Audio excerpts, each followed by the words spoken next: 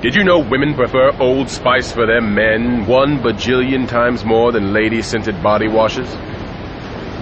Did you know that I'm riding this horse backwards? Yeah!